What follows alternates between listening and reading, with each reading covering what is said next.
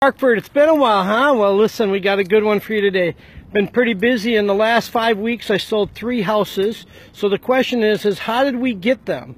Uh, and they were all bought within the first 24 hours. Why would sellers sell their house in the first 24 hours? I'm only going to give you three reasons. There's probably 10 that I could give you eventually, but I'm going to give you three, all right? Before we go into that, Okay, you realtors, think about what your top three are, but I'm going to give me my, they're not the top three, they're just three of them.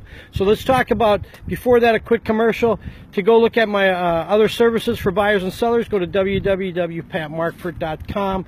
One other thing, the next four months are the busiest months of the year, and if you can send anybody my way, I would greatly greatly, greatly appreciate it. Here we go, the top three. The first one is, is the offering price if it's the first of 24 hours, what you want to do, you want to make sure in the first 24 hours is you do the offering price, the asking price. If you're the only one, if you want that house. Otherwise, you'll offend that you'll offend that seller. And if you go into multiple offers, I have a general rule: one to two percent over asking price for every extra offer. But usually, five to ten thousand dollars will get it. So you got to get the offering price, got to be right. The second thing is the kind of financing.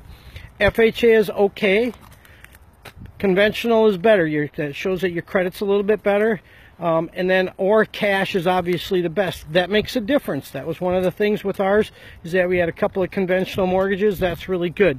Um, and then also the amount of earnest money you put down. It shows that you're committed to buying the property. So the higher your earnest money and the higher your down payment, the more likely your offer will be accepted. And the third thing is the in the is the inspection period, the inspection time obviously if you do no inspection that puts your offer way up high right if you're competing. Otherwise try and do a shorter time. Most people do 10 days on the inspection. My advice if you want that place make sure you talk to your inspector earlier but try and get that inspection done in five days. So three things. One is um, your offering price you want it to be a little bit higher if you can five to ten thousand dollars more. Two you want to get the best kind of uh, uh, um, down payment higher down payment, higher earnest money, conventional mortgage is the best. Third, uh, inspection, no inspection, don't like that, but sometimes you can do that.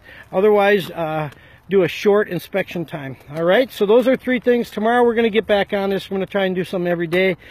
One big favor, I'm going to ask you one other thing, two things. One, like or share this. The next four months are the biggest times for real estate. I could really use your help. If you know anybody, send them my direction. I'll take very good care of them. Till tomorrow, hope you guys have a great day. Thanks for watching this.